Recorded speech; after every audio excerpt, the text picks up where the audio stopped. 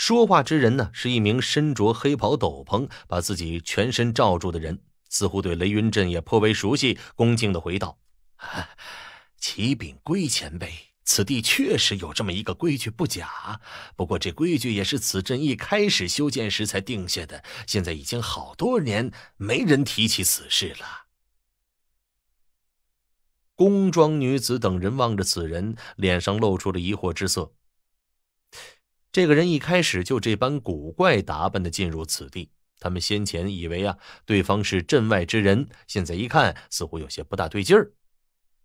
归姓一族人冷漠的问道：“不要说其他的，我只想知道，若是在这里出手，那长老执事真的会出面管吗？”黑袍人低声说道。呃，这个不好说，呃，也可能管，也可能视而不见。呃，不过听说这次新来的执事是个很死板的人，恐怕有很大几率会出面吧。龟姓一族人如此说道。这么说，倒还真不能在此地动手了。好，就按你们的规矩办。等我们领完霹雷伞，我亲自和道友切磋一二神通。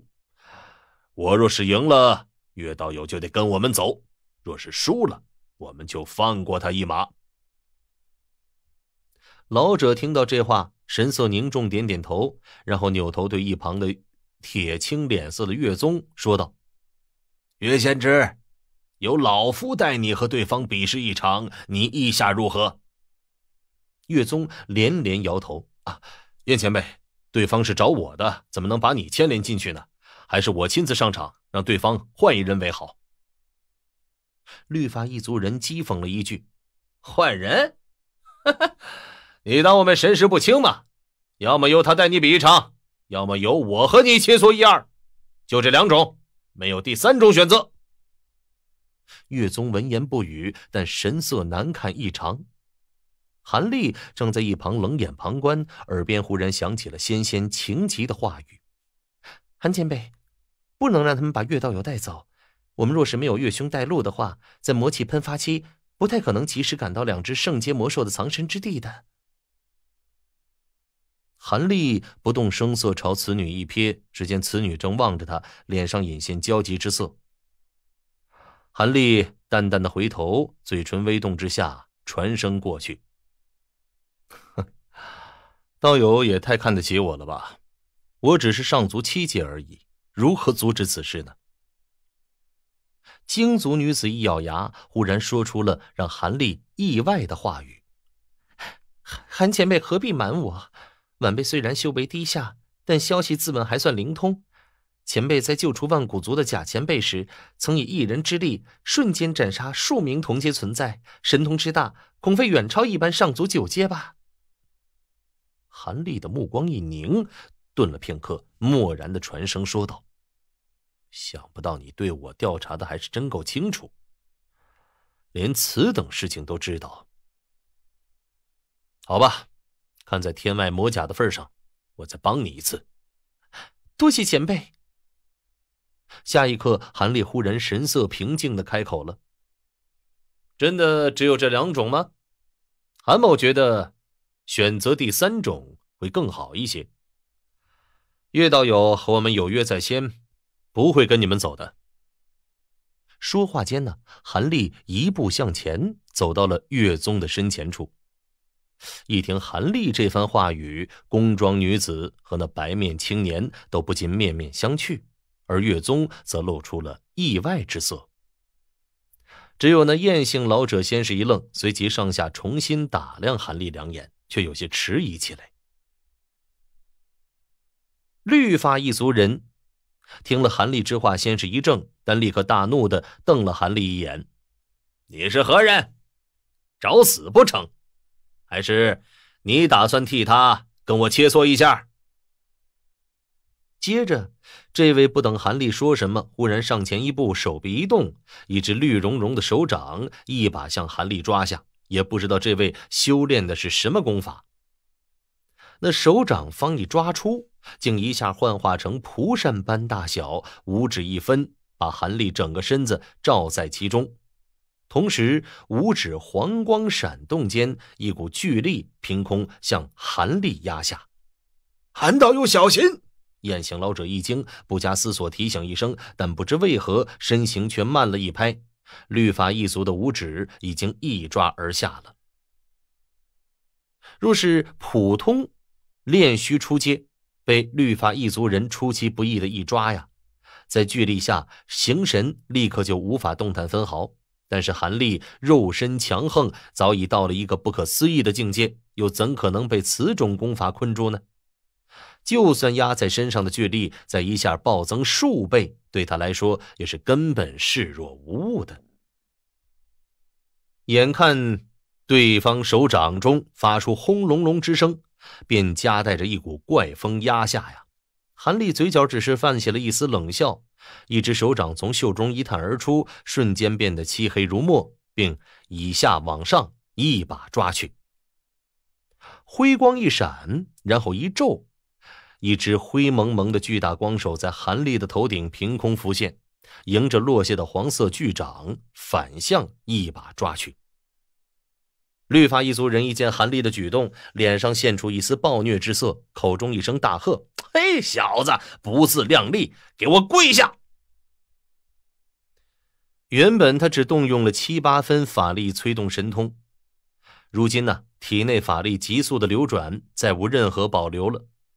一下往手掌上凝聚了十成灵力，打算借此立威，一下把韩立硬生生压倒在地。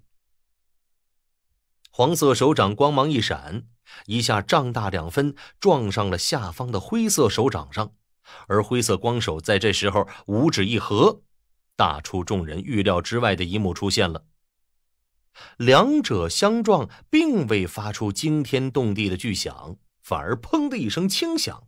黄色大手被灰色光手一捏之下，当场溃灭消失了。接着，光手一个晃动，诡异的出现在律法一族人的上空，无声无息的同样一把抓下。光手尚未落下，原磁神光所化灰色光霞就一卷而下。啊，不可能！这律法一族人先是失声叫起来，不敢相信对方不但识破了他的得意神通，还以其人之道还治其人之身，反向自己抓下。惊怒之下，他来不及多想，两手猛然一握拳头，冲着空中卷下的辉光，呼呼两拳全力击出。两个黄色拳影轰隆隆的脱手射出，直射灰霞，狂击而去。噗噗两声啊，两只黄色拳影一接触辉光，仿佛泥牛入海，不见了踪影。绿发一族人脸上显出了骇然之色，暗道一声不好，想施展遁术立刻避开。但是原本慢腾腾的辉光只是一闪，不可思议的到了他跟前儿，辉光一个反卷呢，把他身形全卷入了其中了。在辉光中。绿色一族人感觉护体灵光一凝，身形顿时无法移动了。这时候，灰色大手一压而下，只觉得头顶一黑，附近空气一紧，此一族连呼吸都不能了。随之，一股无法抵挡的重力蓦然压在他的双肩上，扑通一声啊！律法一族人无法抗拒泰山压顶般的巨力，筋骨松软，膝盖一麻。一下半跪在地上了。哎，灰色大手离其头顶还有半尺左右的距离，死死压在他护体灵光之上，让他无法动弹分毫。这绿发的一族人脸色苍白一片，马上变得鲜红欲滴起来。也不知道他是这个用功过度啊，还是恼羞成怒所致。整座第三层一下鸦雀无声了。无论是本地修炼者，还是外来之人，大多目露骇然之色。其中，燕姓老者吃惊中露出一丝喜色来。远处的龟姓一族人眼角一下眺望之下，望向韩立的目光变得冰寒如雪了。仙仙这名京族女子脸色变了数变，她虽然知道韩立神通极高啊。但是，一出手就立刻压倒高出自身两阶对手的一幕，还是大出她预料之外，心中颇为的复杂。岳宗同样是一惊非小，有些发怔的望着韩立不语。至于宫装女子等人和其他人，则一个个目瞪口呆了。韩立对这一切视若无睹，只是望着地面上浑身骨骼发出啪啪之声的绿族一族人，双目一眯。此人被巨大光手压得半跪之后，望向韩立目光，除了恼羞成怒异常之外，还露出了怨毒之极的目光。同时，他护体灵光晃动不已，一副还想强行站起的样子。韩立嘴角抽搐一下，一声冷哼。原本抬起的黑色手掌突然一个翻转，顿时原本压在绿发一族人身上的灰色大手啊，同样五指一动一翻。一座丈许大的小山，下一刻诡异的浮现出来，向下一压而去。哐！一声闷响，此山黑乎乎，毫不起眼儿，但是一接触之下，不但将绿发一族护体灵光一压溃散，还将原本半跪在地上的一族彻底的压倒在地面上。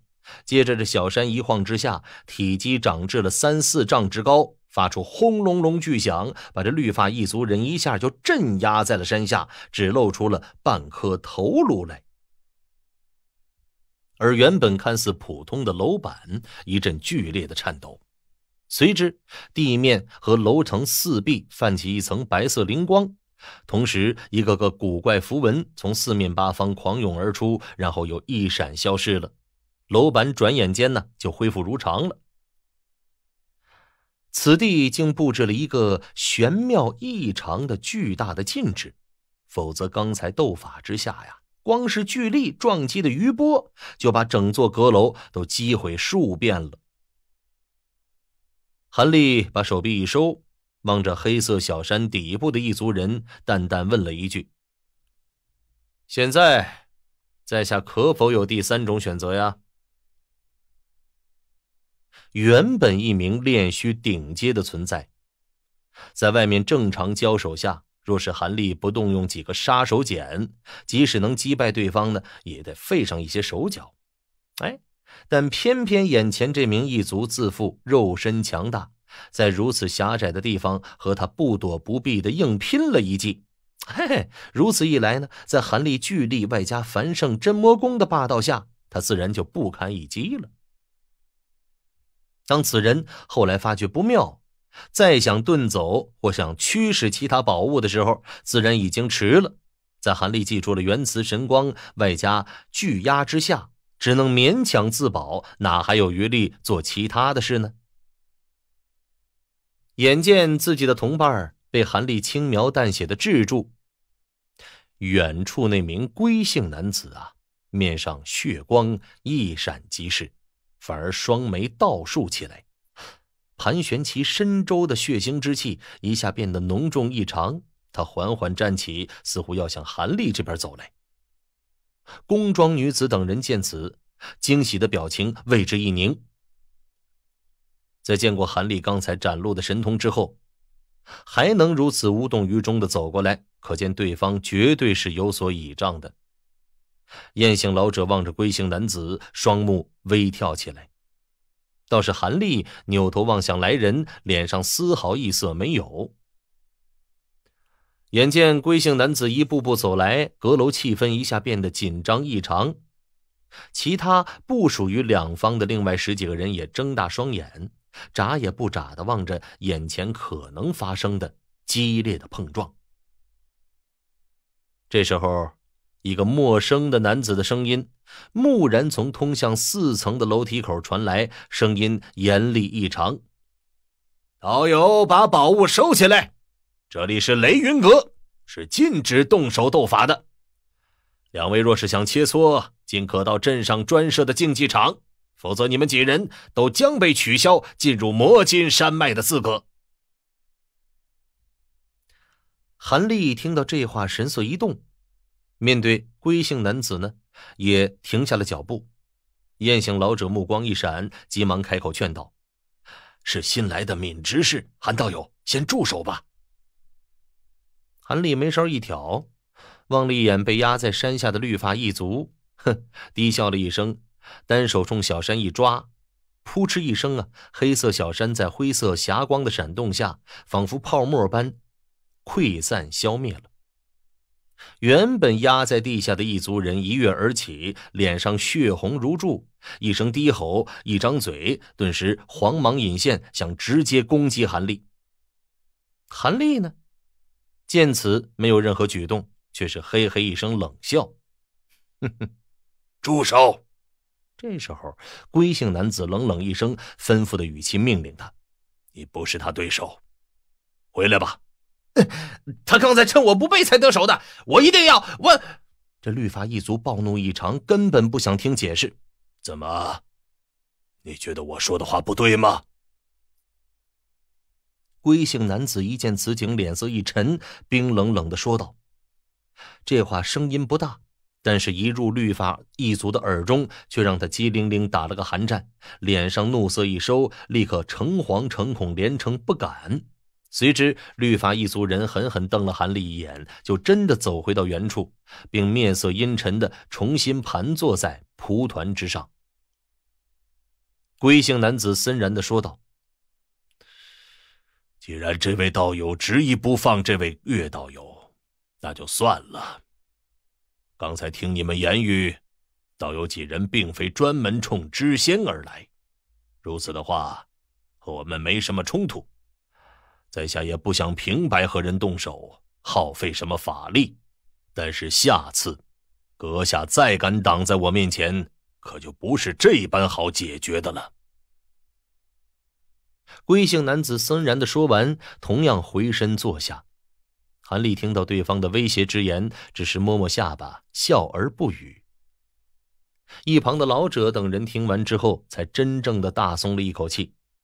那宫装女子冲韩立嫣然一笑，想要开口说些什么，从楼梯上又传来了那名闵执事的话语：“除了上族八阶、九阶之外，其余想要申请进入魔界山脉之人都必须通过测试。想要进入山脉，现在可以上楼了，一次只能上来两个人。”这位闵执事的话让聚集此地的人一阵的骚动。众人互相望了一眼，马上有两个人一前一后抢上楼梯，转眼间消失在楼梯口处。这两个人呢，一个是化神中期，一个是炼虚初阶，均不是属于老者和龟姓男子两方之人。其余未能及时反应过来的人呢，脸上闪过一丝后悔之意。不管怎么说，能先一步拿到霹雷伞，自然只有好处，没有坏处。如今剩余之人也只好老实的在原地等下去，有的人则凝神注意楼上的动静，想听出些名堂来。但是不知道楼上布置了什么样的禁制，还是这测试呢？根本是无声无息的，楼梯上面根本是寂静无声，一丝声响都没传来，这让几个人有些失望。测试的时间不长，也不算短。半个时辰之后，才有一人走下来，所有人的目光唰的一下全都扫了过去。只见这人身上衣服破破烂烂，仿佛有几处隐现血迹，竟然一副和什么东西刚刚争斗过的样子。一名和这人相熟的外来人呢，忍不住站起来问道：“哎，祝道友，你是怎么测试的？有没有拿到霹雷伞呢？”这名看起来有些狼狈的男子口中含糊几句。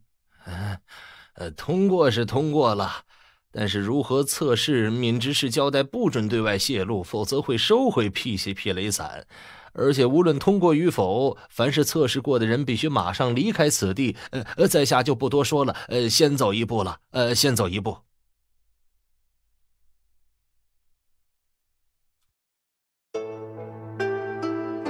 今天呢，就讲到这里。下一集中，桑子将继续为您播讲。凡人修仙传。